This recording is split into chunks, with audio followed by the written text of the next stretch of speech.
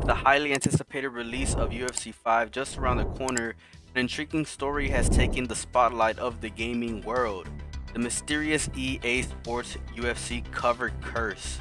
This puzzling phenomenon suggests that athletes featured on the covers of the EA Sports UFC games often experience a downturn in their careers or personal lives afterward.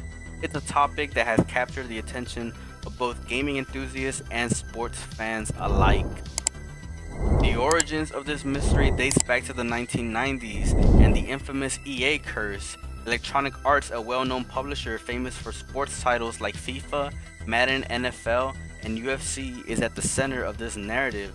It all began with the NFL series back then, where cover athletes frequently encountered unexpected slumps or career setbacks, leading to the creation of the Madden Curse label.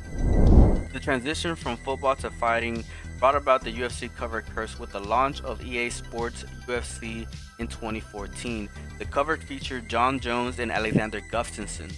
Interestingly, after their cover appearances, things took a downturn Jones struggled with a substance abuse and was involved in a hit and run incident that led to his demotion from the UFC.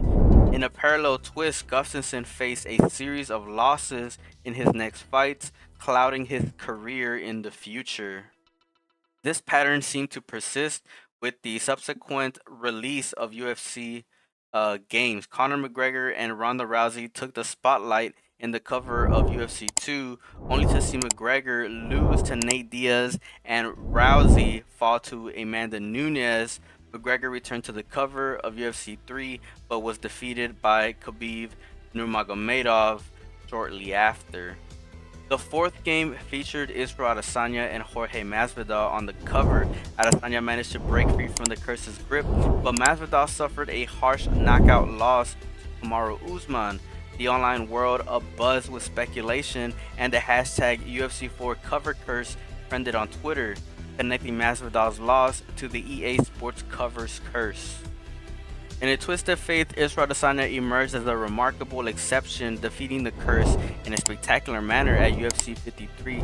His impressive second-round TKO victory against Paulo Costa showcased his dominance as he defended his middleweight belt for the second time. This victory ignited debates whether the curse was genuine or simply a coincidence, but Israel Adesanya went on to lose his next fight against John Blachowicz and then the rumors began to go around the MMA world yet again.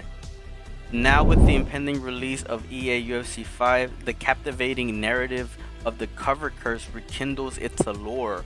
All eyes are on the upcoming cover stars for the unforeseen impact their appearances might have on their career. With the history of the curse leaving a unforgettable mark, there's an atmosphere for anticipation as fans wonder whether the new cover stars will follow in the footsteps of those who came before them. You know, but let's just be honest about it. You know, there's obviously an element of superstition, sports drama, and, you know, just the whole immersive gaming world. You know, while some may dismiss it as chance, others detect a hidden pattern in the shadow that seems to hover over the cover stars. This leaves us marveling at the forces that intertwine gaming, sports, and destiny. Let me know what you guys think down in the comment section below. Do you guys think that this uh, curse that people are talking about in the MMA world is just a bunch of hoopla? I'm curious to see what everybody is thinking down in the comment section below. I will see you guys in the next video. Consider subscribing, leave a like, leave a comment. Out.